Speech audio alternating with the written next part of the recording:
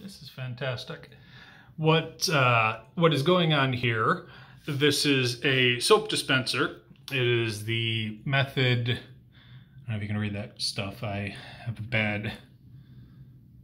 Anyway, uh, oh, Sweetwater. Yeah, there we go. Now I can read it. Um, which is the clear stuff.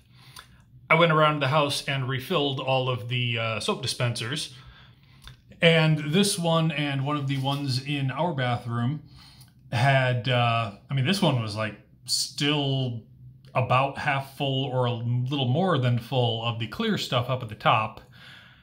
And uh, basically the soft soap, it's like soft soap, milk and honey. And uh, that is so much heavier. And I should have taken a picture when I first put it in there. It was like all stratified and weird and looked cool. But, uh, and then this is basically the heavier soft soap settling down to the bottom and those strands left going up to the top are the bits that haven't quite settled down yet. So anyway, this is freaking awesome.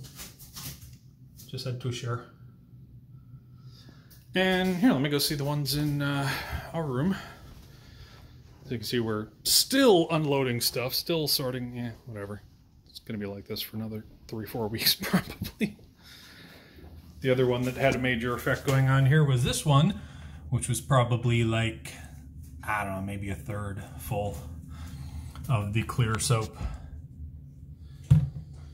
Oh, great, and of course I just knocked it, which is accelerating the, anyway. I mean, it's all gonna settle out in another 24 hours. But, uh, yeah, I saw this one first and I was like, whoa, that, um, because it looked kind of like a lava lamp to begin with, how you have the layers. Oh, I don't know, whatever.